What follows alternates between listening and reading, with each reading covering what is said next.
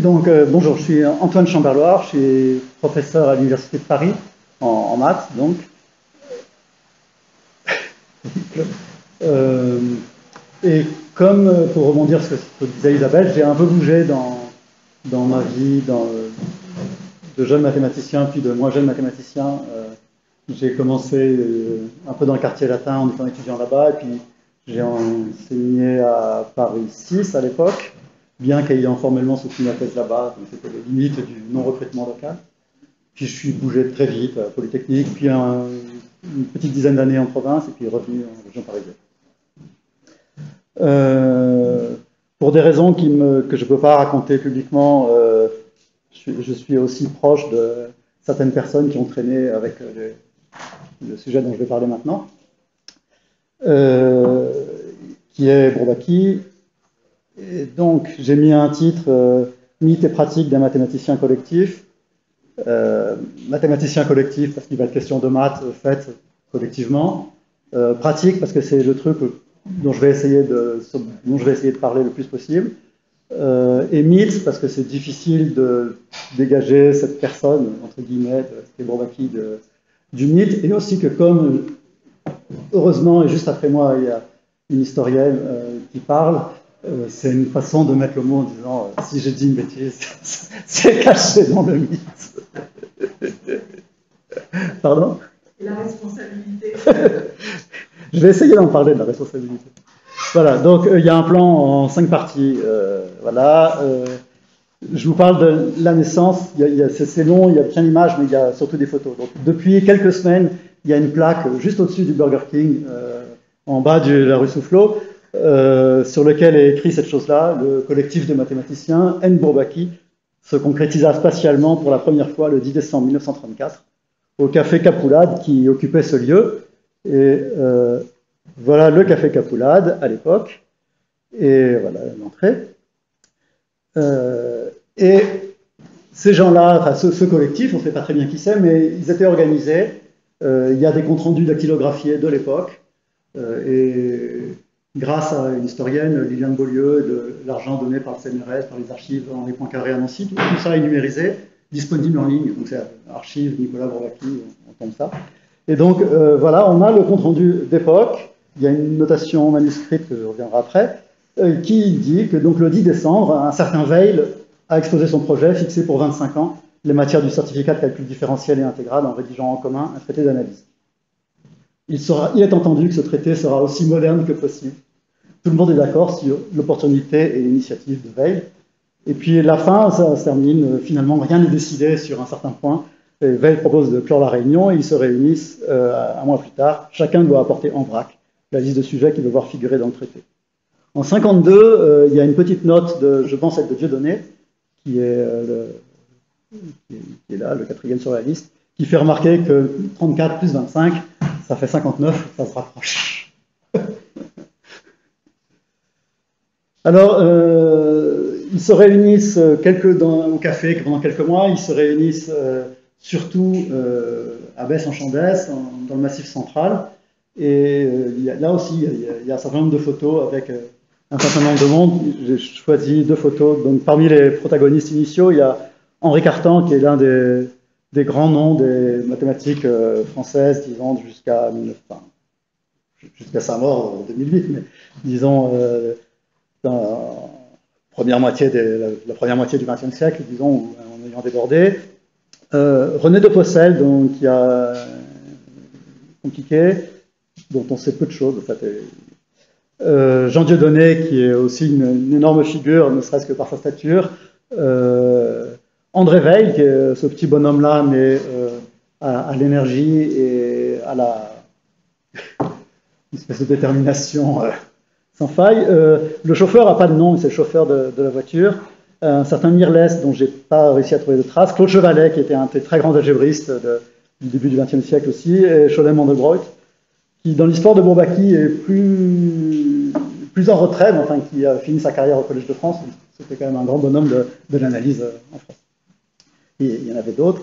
Euh, et toujours, donc on, voit qu'ils se sont réunis en juillet pour, pour commencer à discuter. Il y a des, répartition de qui est membre, qui est pas membre. Visiblement, le, groupe se, se, fiche plus ou moins, enfin, se, structure à ce moment-là, pendant les vacances, et ils se mettent à, bosser.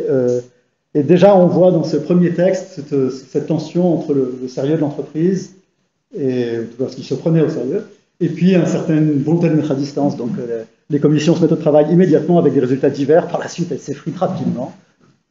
Et tout est comme ça. Et, euh,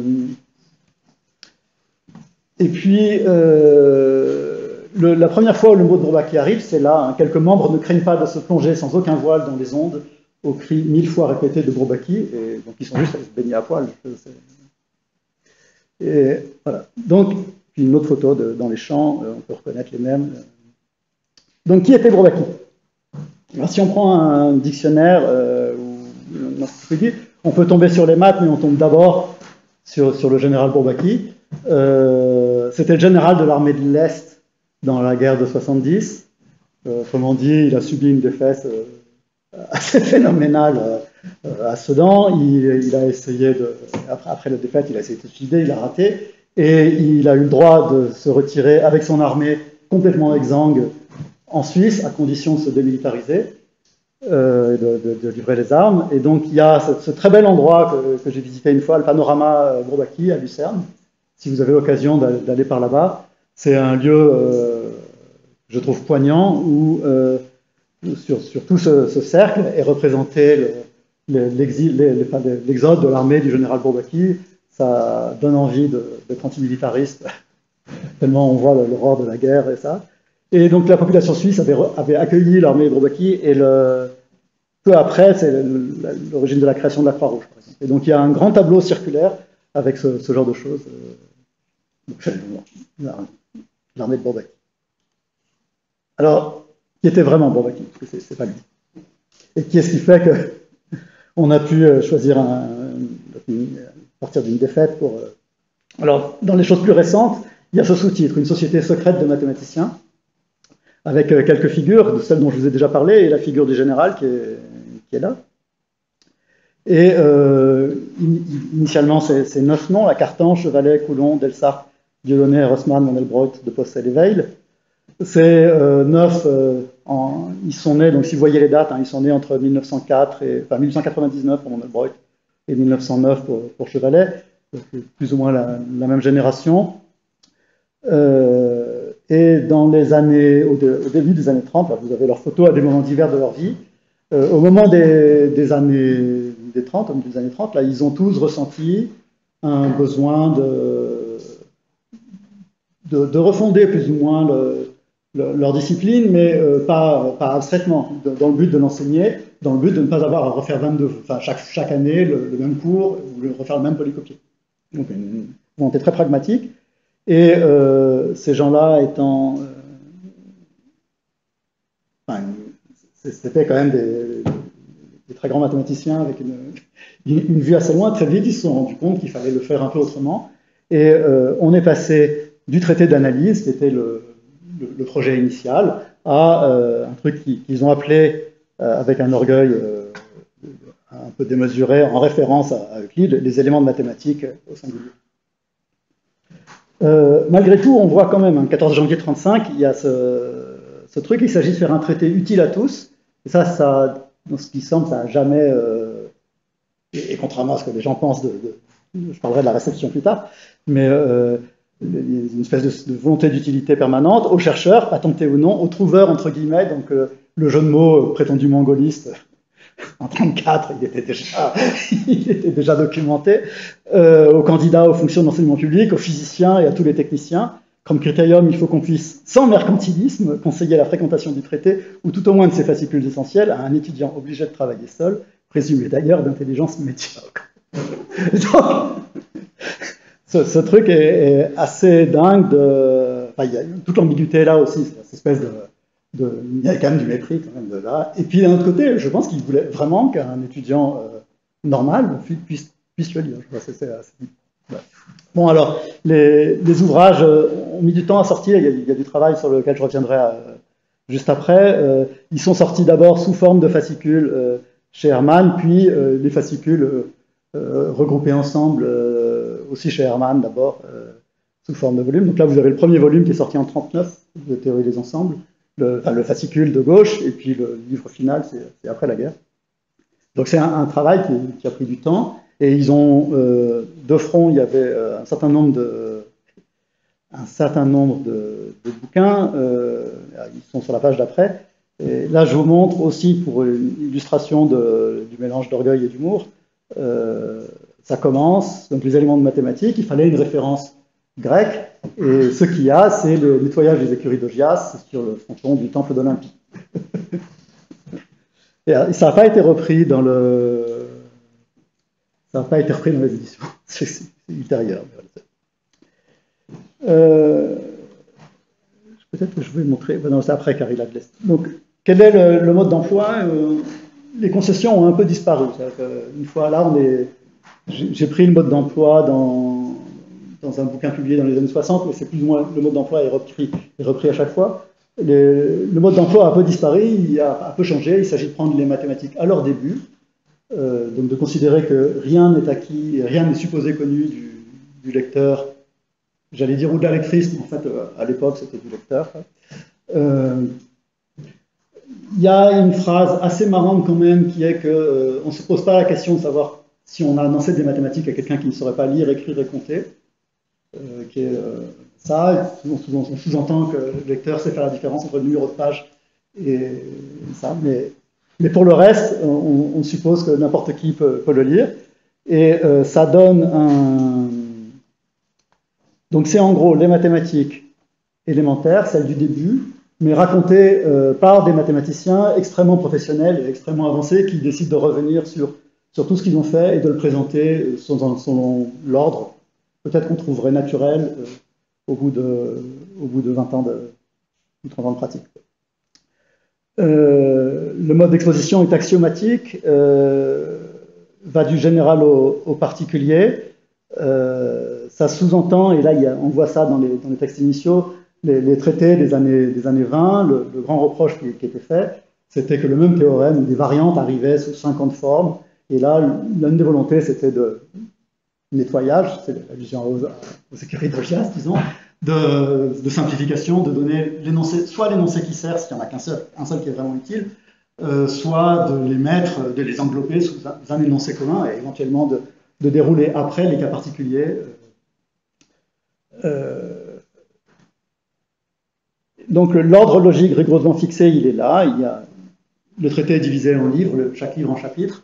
Et il y a dix livres qui, sont là, qui sont prévus, de théorie des ensembles jusqu'à théorie spectrale. C'est un ordre logique au sens où euh, les rédacteurs s'interdisent d'utiliser euh, un, résultat qui n'aurait pas été démontré dans un livre antérieur. Sauf que c'est vrai plus ou moins jusqu'au livre 6, jusqu'à l'intégration. À partir de là, le, le, light faden, comme, comme, les mathématiciens disent parfois, se ramifie un peu. Mais, il y a quand même cette idée que euh, rien n'est acquis, tout, est redémontré. Euh, ça fait un, truc assez lourd parce que cet ensemble de 10 volumes plus un dernier volume de, publié en 2016, plus la deuxième édition d'un théorie spectrale qui est là, le, dernier qui a été republié en 2019, ça fait 8000 pages. C'est un gros truc. Et euh, on devine, si, on feuillette les archives, on, devine ce qui, ce qui, peut se passer, par exemple, sur ce volume de topologie algébrique il faut lire les archives et la traduction. C'était prévu pour être le chapitre 11 du topologie générale. Il y a euh, quasiment un plan euh, qui tient la route dans un texte d'André Weil et de Samuel Eilenberg daté de 1955, qu'on trouve en ligne.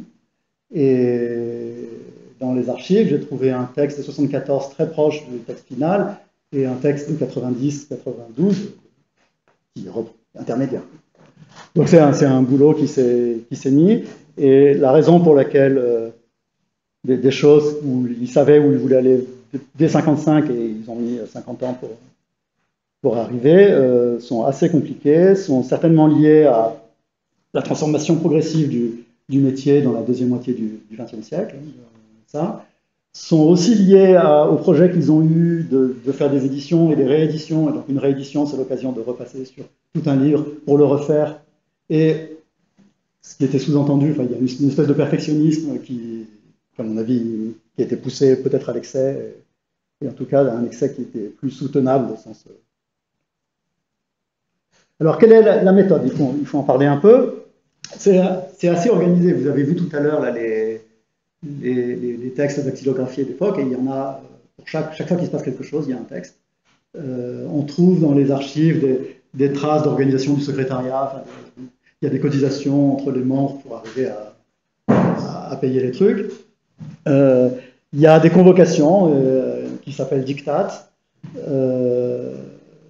D'ailleurs, c'est assez marrant parce que dictat est un mot allemand, mais en général, il y a écrit Bobakis dictat avec l'apostrophe S euh, anglaise, qui est un truc un peu bizarre, qui fixe euh, l'ordre du jour, qui dit ce que chacun est censé apporter. évidemment, c'est jamais. C'est des vrais. Je ne sais pas dans quelle mesure ces dictats sont vrais ou faux. Euh, il y en a un, par exemple, qui est, extraordinaire, qui dit qu'il y a un congrès qui va se tenir rue entre le 20 décembre et le 26 décembre. Et il est écrit aucune absence ne sera tolérée, y compris le 25 décembre. Préciser que ce n'est pas une fête reconnue par. Bon.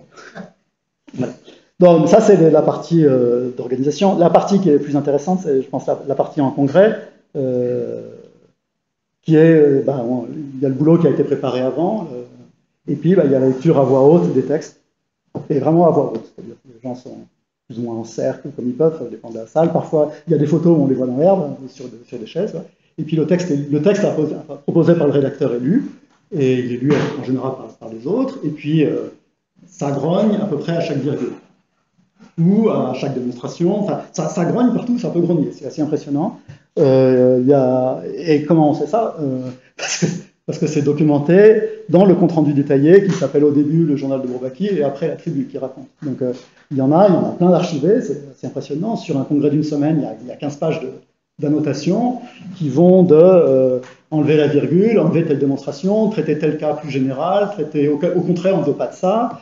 Euh, et là j'en ai un exemple et qui est aussi dans ce, mélange de styles. Donc là, j'ai la partie rigolote, hein, mais qui est le début. Donc on voit qui était là en 49. Euh, donc Cartan, Dieudonné et Rossmann, c'était les, gens de l'origine.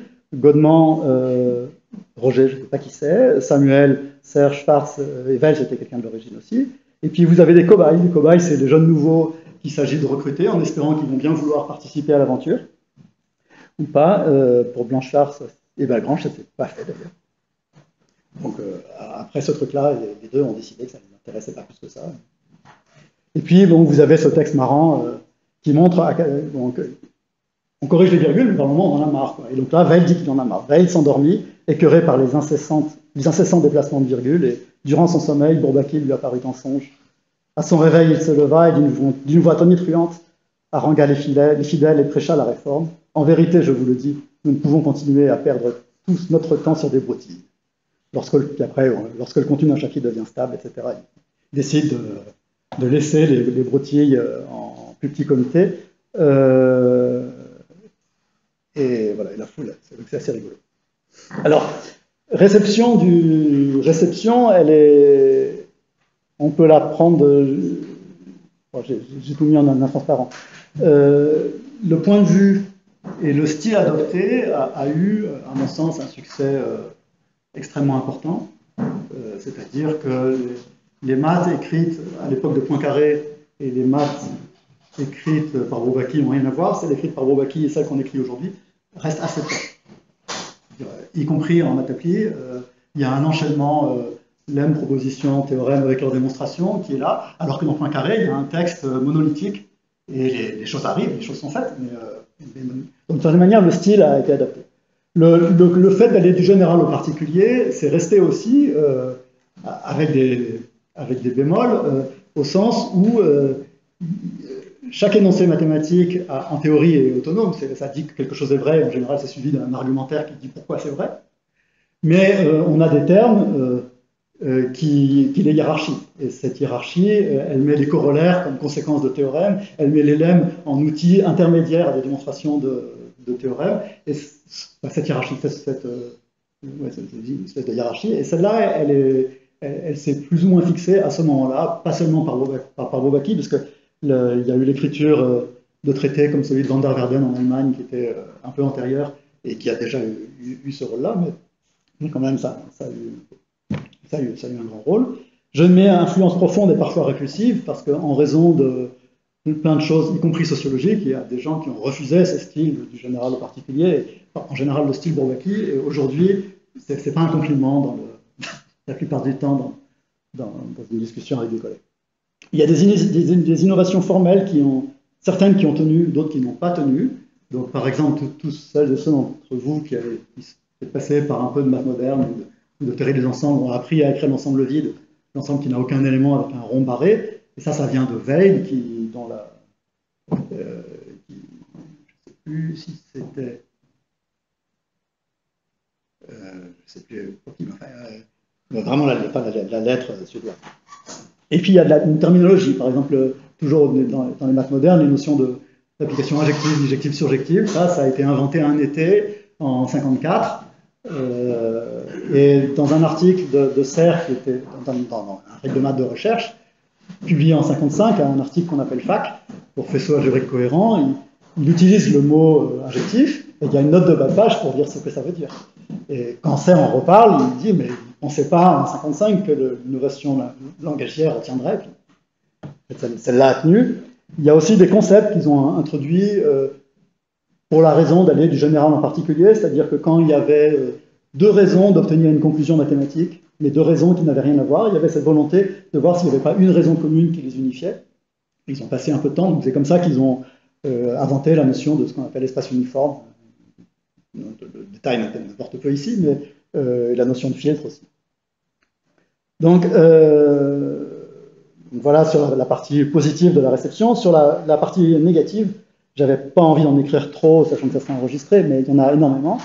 Euh, y a, et, là, je vais dans ce que j'ai écrit, je me limite aux zones d'ombre qui sont purement mathématiques, disons. Il y a des choix de présentation qui, ont certains avantages, mais qui ont aussi des inconvénients. Donc, par exemple, en théorie de l'intégration, la théorie qui a été choisie, ce n'est pas exactement celle de Lebesgue. Euh, la conclusion, c'est qu'elle est totalement inadaptée à la théorie des probabilités. Euh, ce qui limite la portée du bouquin pour quelqu'un qui voudrait faire la théorie des probabilités. Il faut qu'il aille apprendre les choses ailleurs. Alors, on peut faire le dictionnaire, mais c'est pas sérieux. Évidemment, il n'y a pas de théorie des probabilités euh, raisonnable dans Bourbaki, même s'il y a à la fin d'intégration, il y a un chapitre 10 absolument délirant qui s'appelle Intégration sur les espaces topologiques séparés avec des concassages et trucs comme ça, pour, pour arriver quand même, euh, apparemment c'est un tour de force de Grand à, à démontrer l'existence de ce qu'on appelle la mesure de Wiener, parce que quand même il fallait le faire, mais, voilà, là ils ont montré les muscles, et euh, ça marchait pas quoi.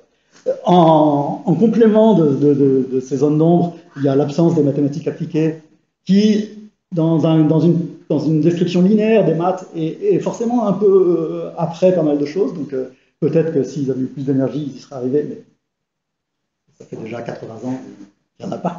Donc il n'y a pas de mathématiques appliquées. Donc ça c'est tout un point qui est, est clair et où, mais qui ne concerne pas trop les maths pures, les, gens, a priori les gens comme moi, qui, dont la théorie de l'intégration, euh, celle-là leur va très bien.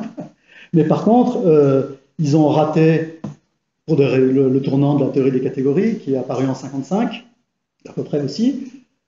Alors, et là, de manière incroyable, c'est-à-dire qu'en 55, au sein de Bourbaki, euh, il, y a, Samuel Heilenberg, qui est l'un des fondateurs de la théorie des catégories, il y a Henri Cartan, qui est fondateur de la logique, avec le même Heilenberg. Donc, ces gens-là sont là, ces gens-là sont parfaitement au courant de ce dont il s'agit, de l'importance, mais euh, c'est un traité monolithique. Si on rajoute la théorie des catégories, il faut tout reprendre à la page 1. Et là, ils ont craqué. Pourquoi? Parce qu'ils avaient d'autres projets à faire. C'était le moment où ils avaient envie de développer la théorie des groupes de Lie, qui était en pleine, explosion, euh, avec Chevalet, etc.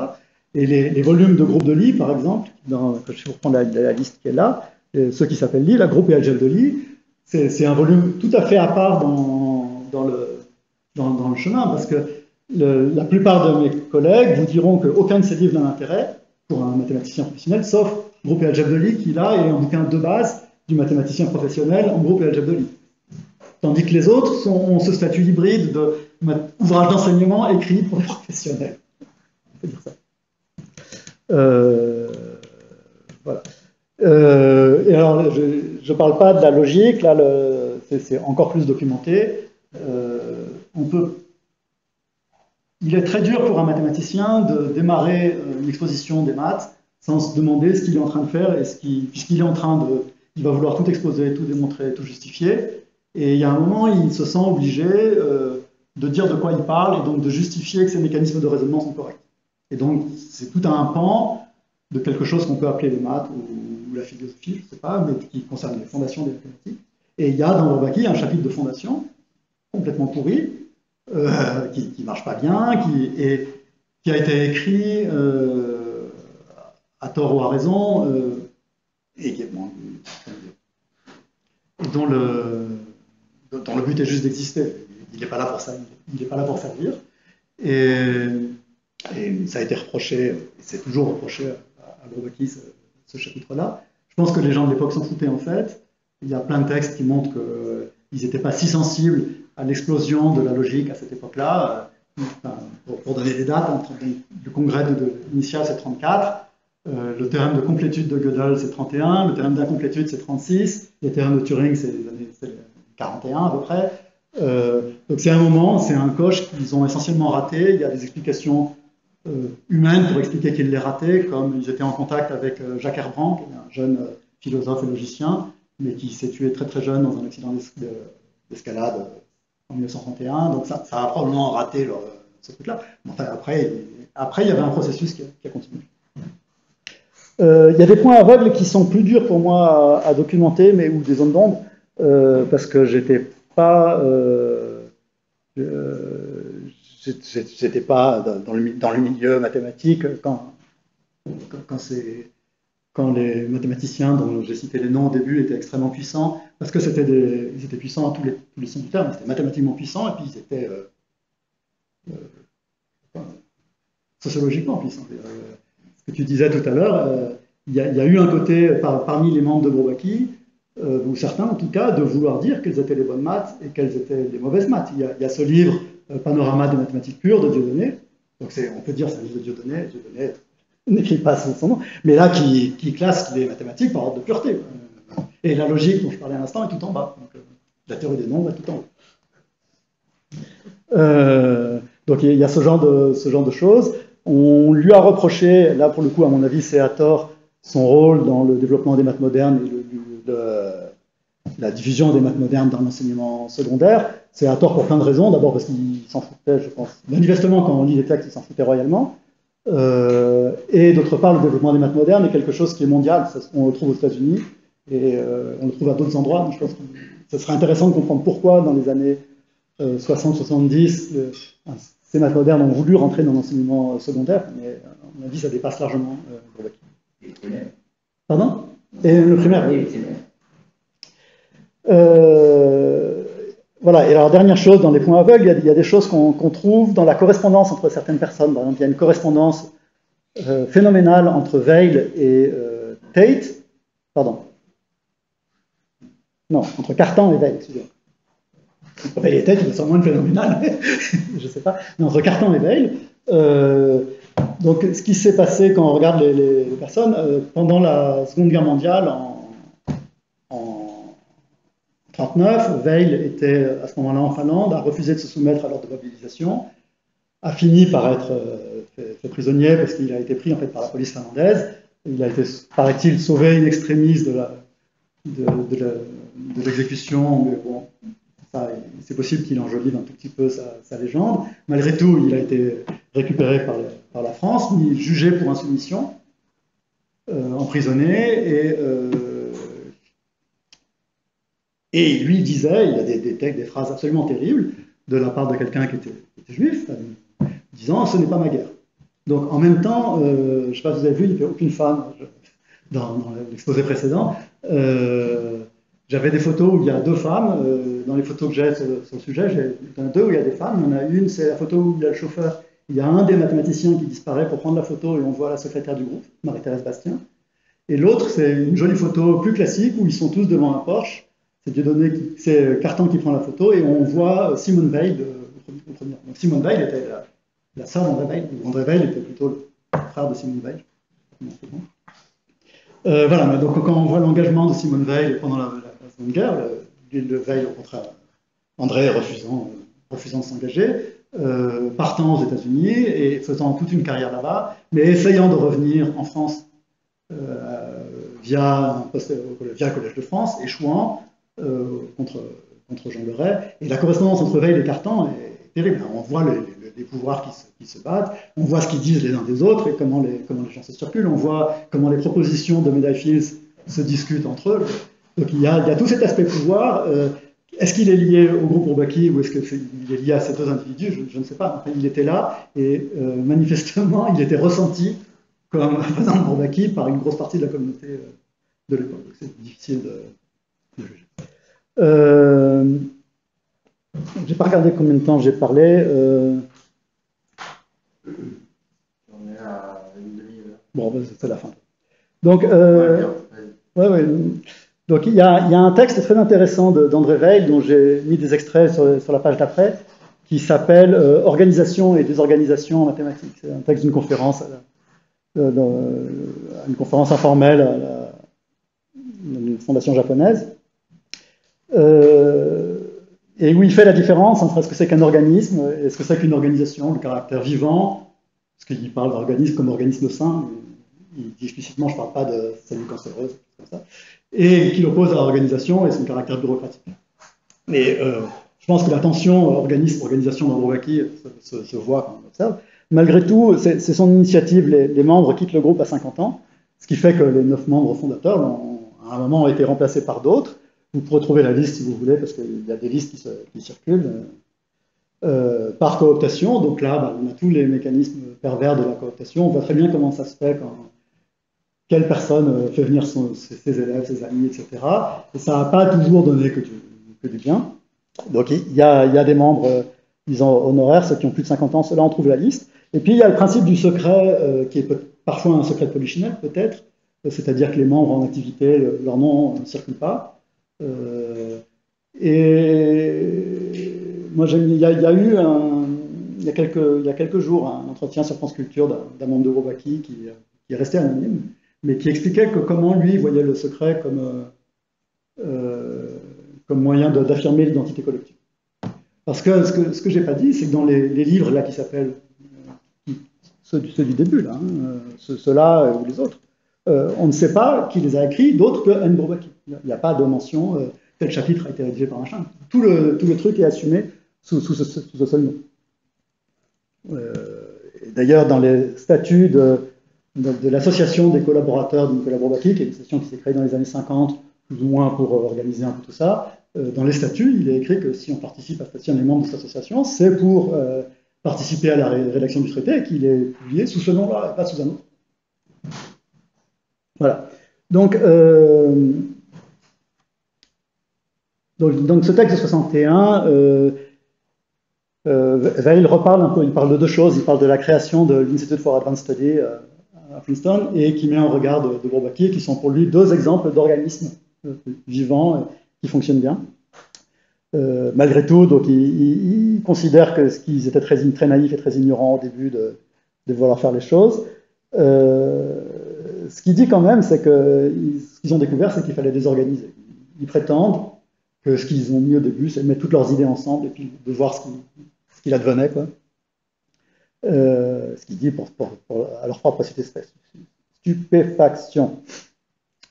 Euh, on devine aussi dans ce texte, que dans les réunions de Bourbaki, il n'y a pas de président de séance. Ça signifie que là, je vous dit tout à l'heure, les gens lisent les textes à voix haute. Euh, chacun parle qui a envie de parler, tout le monde a le droit de l'interrompre. S'il en s'aperçoit qu'il n'a rien d'intéressant à dire, on s'arrange pour le faire taire. S'il veut continuer de parler, on s'arrange pour. On est obligé de crier plus fort. Oui, il est obligé de crier plus fort. Il y a une, euh, une allusion au poème de Tiller Spiegel de, Strauss. Et euh, et donc il termine par, ce truc-là. J'ai voulu mettre en valeur le caractère anarchique de ces discussions, qui s'est conservé dans toute l'existence de ce groupe. Euh, on est à la fois entre mythe et pratique, là, honnêtement. Parce que dans le groupe, je vous ai montré tout à l'heure les photos, euh, quand Dieudonné gueulait, euh, ben, ça se passait pas pareil que. Enfin, les autres gueulaient pas toujours. Voilà. Et. Euh, par contre, là, il dit comment, comment un groupement aussi désorganisé, aussi anarchique, a pu arriver à des réalisations concrètes. Euh, il, insiste sur euh, qu'aucune n'est le produit d'un travail individuel, et que même si la logique aurait été que on sectionne, toi t'écris tel chapitre, toi t'écris tel autre, euh, l'idée, ça, ça, s'est pas fait comme ça, et ils ont fait un travail collectif du groupe. Donc, voilà. La naissance d'un organisme vivant est un phénomène dont les conditions sont difficiles à décrire et qui ne peut pas se répéter à volonté. Et moi, j'aurais envie d'ajouter, euh, c'est que la, survivance d'un organisme vivant est quelque chose qui est difficile à, décider. Quoi. Je sais plus, voilà. Et puis, euh, juste deux, transparents rapides pour parler de l'autre activité du séminaire Bobaki, de, de, qui est le séminaire Bobaki, qui aujourd'hui est considéré comme euh, l'activité utile du groupe. C'est pareil si vous faites un sondage parmi les collègues.